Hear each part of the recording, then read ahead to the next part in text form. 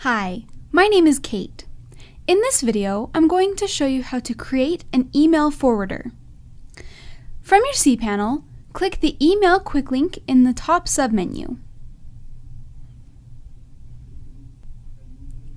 This will bring you to your email manager, where you can then click Forwarding. Here you can see all of the current email forwarders that you have set up. And to add a new one, click Add Email. First, you need to enter the address to forward. And make sure that you have the correct domain selected here. Then you're going to choose from these destination options. You can forward to an email address, discard with error message to the sender, pipe to a program in your home directory, or discard the message with no error sent to the sender. Generally, most people will be forwarding to a different email address, but you can choose any of these options that will work for you.